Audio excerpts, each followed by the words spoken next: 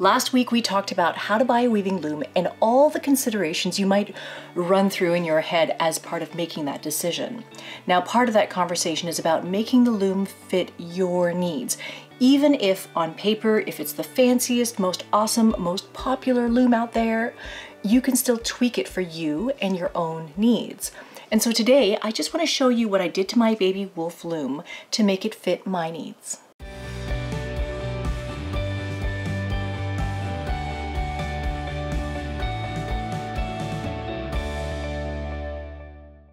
Thanks so much for being here. I am Felicia from Sweet Georgia, and this is Taking Back Friday. This is a vlog that I started uh, a couple of years ago now to talk about how important it is to make time to make things.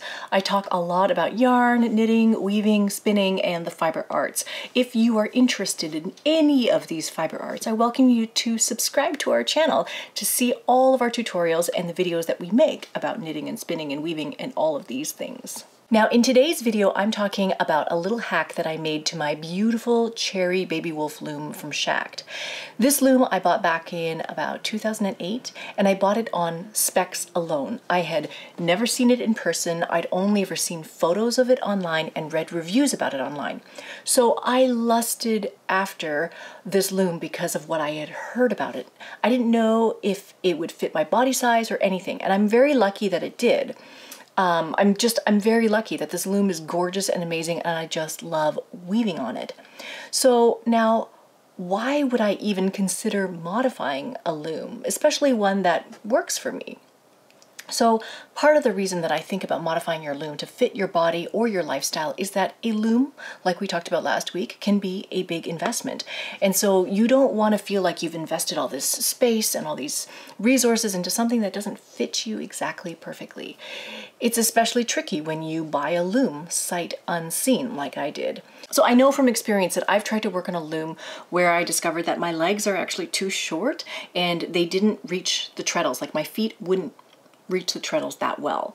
And so there are things that you can do to make your loom fit you better. And so in the example of my feet not reaching the treadles, I've heard about people attaching blocks to the tops of the treadles and then you step on the blocks and you can effectively sort of bridge the distance between your foot and the treadle, allowing you to use a big loom like that.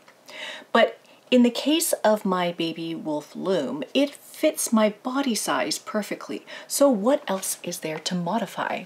So let me tell you about this little hack that uh, that I've done. It's a hack that I heard about many, many years ago from Syne Mitchell. She's the host of an old uh, podcast called Weavezine. She has a blog as well, Weavezine.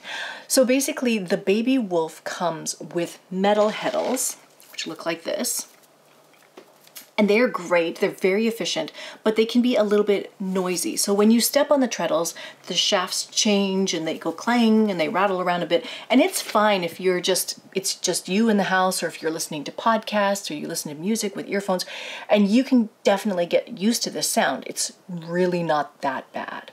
But I had in my mind this idea that I could make my loom more quiet and that it could become almost like this stealth or seamless part of my family life. Like I could be watching TV and weaving on it at the same time, or maybe um, other people could be reading or playing or watching TV and I could be weaving and I wouldn't disturb them. That was kind of my idea, that I could just fit my loom into the rest of my life. So I wanted to replace the metal heddles with Texsolv heddles, which are made out of nylon. So Texsolv heddles are very soft. You can see they're soft and floppy, they're light, and when you step on the treadles, they don't go clang or rattle, so there's definitely a reduction in the sound levels.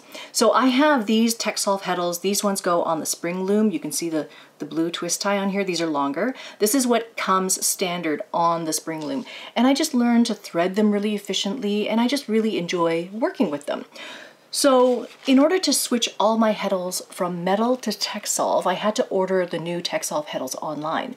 For the baby wolf, you want the brown ones. Basically, they come with a brown twist tie as opposed to the blue twist tie here. So the Texsolv heddles that you want for the baby wolf are 9.5 inches long, and I got about 100 heddles per shaft.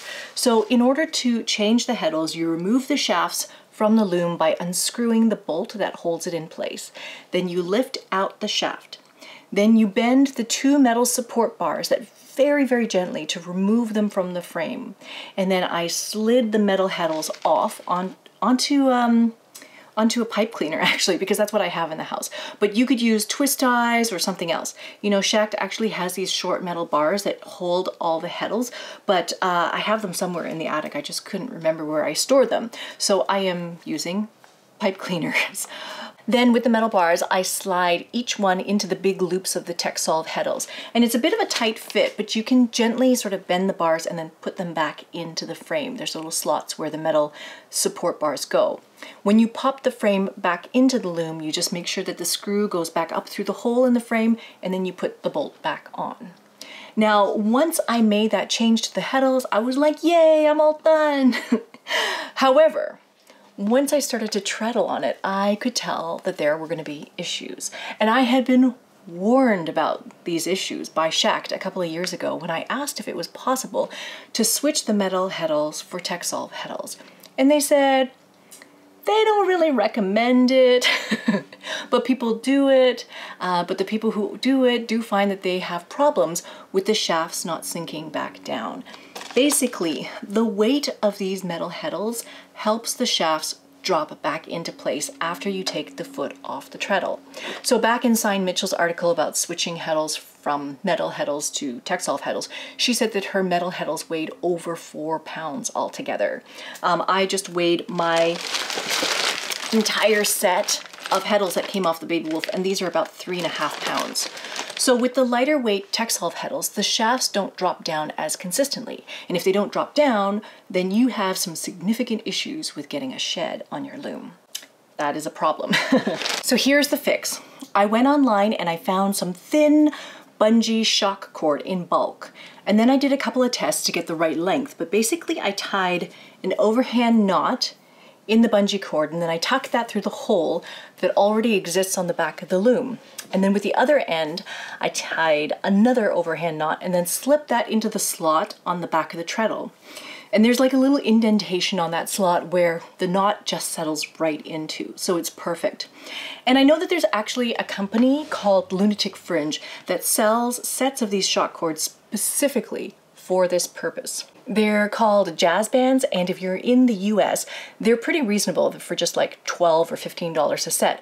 But the cost to ship them to Canada was a little bit too much for me. My options were basically $36, $100, or $110 for shipping a set of $12 bands to Canada. So that's really the only reason why I had to DIY my own version. Otherwise, they are already available online. So the point of these bungee cords is to snap the shaft back into place after you take your foot off the treadle. So basically when you press the treadle down, the bungee cord is stretched and under tension. And then when you let go of the treadle, the bungee cord snaps back up into place and it pulls the shaft back down into place as well. So what if you don't want to use bungee cord to snap the frames back into place? There's another option, which I haven't tried, but I've read, and that is to add weights to the bottom of each shaft to pull them back down. Because remember that between about three and a half and four pounds of heddles were removed. So you'd have to add that back to each shaft. So that's like half a pound to each shaft to get them to sink down again. So between ordering the Texsolv heddles in two separate batches, because I thought I would do four shafts first and then leave the other four shafts, but that didn't work out. So I had to order two sets of Texsolv heddles, replace them all on the, all of the frames, and then order the bungee cords after finding out that the shafts didn't work. And then finding the time to put the bungee cords on the loom, like I think this entire process took several months. It's, it's not an arduous process, it just took me longer than I had anticipated.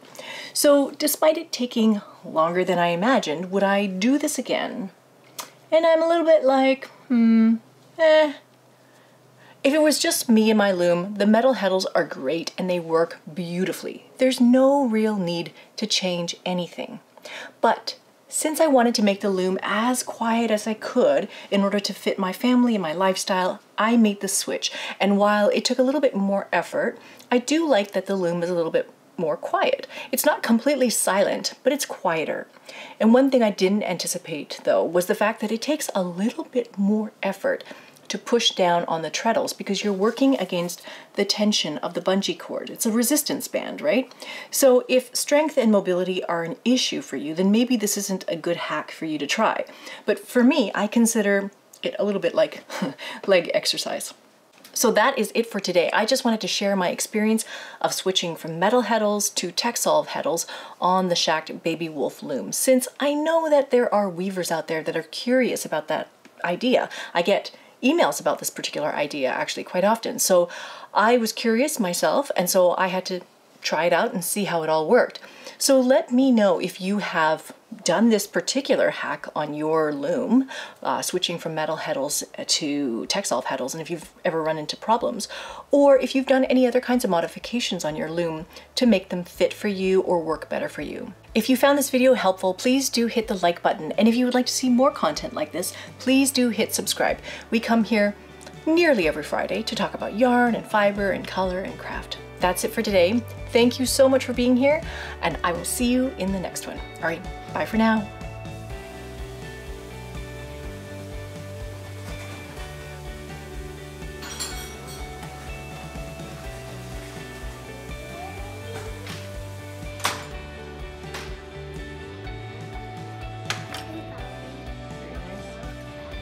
good.